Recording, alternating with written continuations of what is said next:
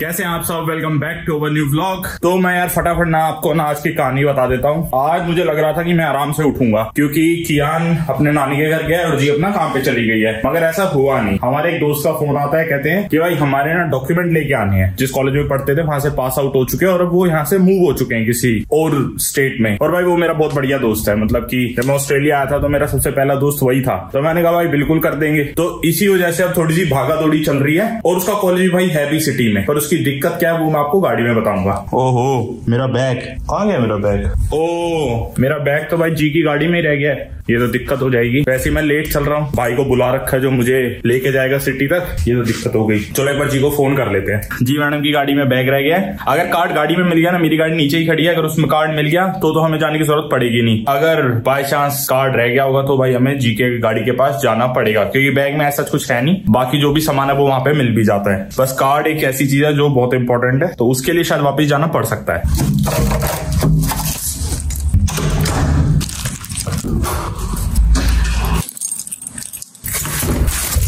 तो भाई बढ़िया बात हो गई कि कार्ड यहीं पे मिल गया। तो अब जी मैडम के पास जाने की छुट्टी।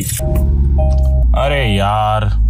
एक काम पूरा हुआ तो दूसरा काम आ गया। अब इसमें भाई साहब पेट्रोल भी लेना है। आज भाई होंगे लेट। जिस दिन आपके साथ भी ऐसा होता है क्या? जिस दिन आप लोग जल्दी के चक्कर में होते हो और उस दिन आप लेट होते हुए चले जाते हो चलो पहले इस राम प्यारी में भरवा लेते हैं पेट्रोल। मौसम आज भाई थोड़ा सा नाजुक लग रहा है। बारिश होने वाली है।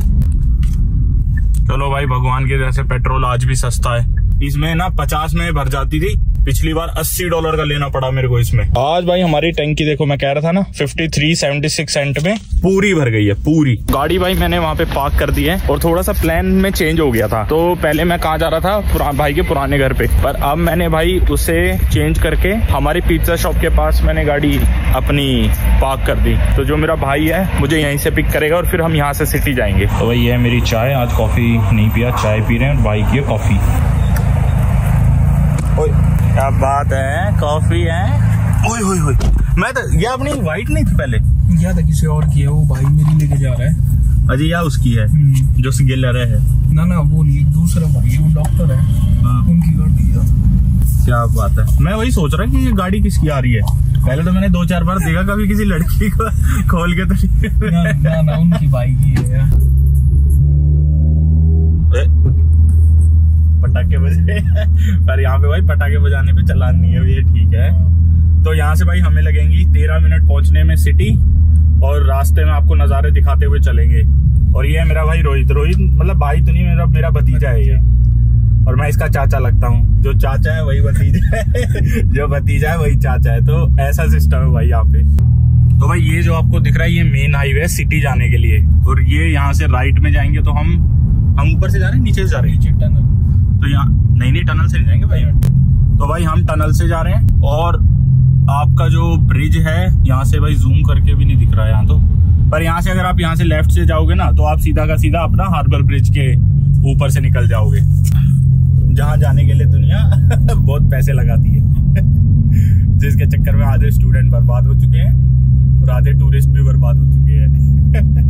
ये देख लो भाई, ये है अपना हार्बर ब्रिज और उसके लेफ़्ट साइड में, वो दिख रहा है? उसके लेफ़्ट साइड में ओपरा हाउस ये देखो, ये है ओपरा हाउस और ये है नज़ारा अपनी सिटी का कुछ ऐसा। और भाई, ये जो आपको टनल दिख रही है, ये हमारी पानी के नीचे है। और फिर उसके ऊपर हार्बर ब्रिज है। तो मतलब जो भी इंजीनियरिंग लगा रखी है, वो बहुत सही लगा रखी है, जिसने भी बनाया है ये।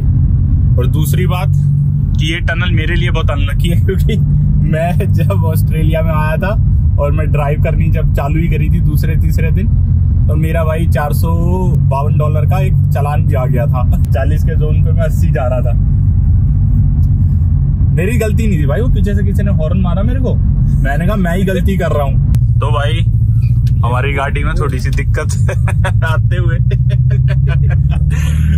इसने अभी हमें टनल में बंद कर दिया था। वो तो जिस बाइक की गाड़ी है उसने बोला भाई इसको चला ले जैसे चल रही है देखी जाएगी। तो हमने भगा रखी है गाड़ी अभी भी हम रुके नहीं है पर गाड़ी में कुछ तो दिक्कत है सारी बत्तियाँ जल चुकी हैं गाड़ी के अंदर। मतलब ऐसा ऑडी में भी हो जाता है। अरे स्टेज टू ट्यून करा रखे ना उन्होंने ये देख रहे हो भाई पटा मुझे पहले लग रहा था पटाखे छोड़ रही है पर बाद में भाई ने बताया नहीं नहीं भाई पटाखे वटाखे नहीं तो सांस छोड़ गई और भाई ये है अपनी सिडनी सिटी जहाँ पे सब आप देख रहे हो, सारे के सारे लोग अपना भाई ऑफ़िस जा रहे हैं कोट पैंट पहन के, क्योंकि सारी अपनी कंपनी यहीं पे हैं। हमारा सौभाग्य नहीं हुआ कि हम यहाँ पे नौकरी लगे तो हम बाहर ही घूम रहे नहीं, सौभाग्य तो लगा था, पर यहाँ पे हम डिलीवरी बॉय की जॉब करी है मैंने ना। रोहित तो मुझे छोड़ के वो जा रहा है मतलब वो जाएगा पहले पेट्रोल पंप और वहाँ पे इसमें कुछ जो भी कमी पेशी है वो कराएगा। भाई ये रहा कॉलेज बारिश भी स्टार्ट हो गई है। तो भाई ये रहा सर्टिफिकेट मेरे दोस्त का। बहुत जल्दी काम कर दिया। पर ये देखने में ऐसा नहीं लग रहा जो अपनी बैडमिंटन में वो शटल आती है वैसा डब्बा। और मैंने भाई रोहित को भी वापस बुला लिया है कि तू आ जा मेरा काम हो गया तो वो पेट्रोल पंप नहीं गया पहले वो पहले यहीं पे आ रहा है सीधा मेरे को पिक करने फिर उसके बाद हम यहाँ से जाएँगे। तो भाई अभी तक हमारी बॉडी सांस तो भर रही है पर पता नहीं है। देख बोर्ड पढ़ के चलेगी। मेरे मेरे ख्याल से यहाँ से राइट लेना पड़ेगा। बारिश ने थोड़ा सा काम खराब कर दिया हमारा ना। और सिटी के जो रास्ते हैं भाई वो भूल भुलैया है। और भाई ये साइड में आपको दिख रहा है ये अपना हार्बर क्या है डार्लिंग डार्लिंग हार्बर यहाँ पे जितने भी क्लब्स पब्स पार्टी यहीं पे होती है। एक दिन यहाँ पे भी आएँगे हम दोनों भाई। तो आए? नहीं मैं तो आया हूँ। इस व्यू की भाई आपसे बात हुई थी जाते वक्त जहाँ पे आप मिस कर गए थे। तो अब बस दिल थाम के बैठो। अब मैं आपको ऐसी चीज़ दिखाऊँगा आप बोलोगे, भाई, बस, इसके आगे कुछ नहीं है। तो भाई, ये है हमारा वर्ल्ड फ़ेमस हार्बर ब्रिज और इसी के साइड में ओपरा हाउस पड़ता है। और अब हम इसको जैसी क्रॉस करेंगे, तब भाई ऊपर देखना डिज़ाइन इसका। और अब लोग कहेंगे, ये देखो भाई, दो झंडे टगे हुए एक एबोरिजिनल का झंडा है, एक ऑस्ट्रेलिया का झंडा है। ओए, होए। और आपको पता होगा कि ये जो आपको साइड में रेलिंग दिख रही है ना भाई, यहाँ से लोग वॉक करने जाते हैं इसके टॉप तक। और उसकी भी कुछ कॉस्ट है, शायद 200 डॉलर 250 डॉलर की कॉस्ट है। और जिसको भाई नहीं चलना तो यहाँ पे अपना आप एरोप्लेन बुक कर सकते हो, वो इसका चक्कर भी आपका कटाता है। और मोस्टली जितने भी टूरिस्ट हैं, यही करने आते हैं यहाँ पे। तो भाई, रोहित ने मुझे वापस ड्रॉप कर दिया है अपनी गाड़ी के पास। और अब हम यहाँ से चलते हैं अपना घर। इस भाई को भी बता दिया कि भाई अपनी डिग्री ले जाइयो, कभी तेरे पास से कोई अपॉर्चुनिटी मिस ना हो जाए। और ये ना 2020 की पड़ी हुई थी वहाँ पे। तो चलो भाई, आज का ब्लॉग इतना ही। अब मैं आपसे मिलूँगा हमारे नेक्स्ट ब्लॉग में।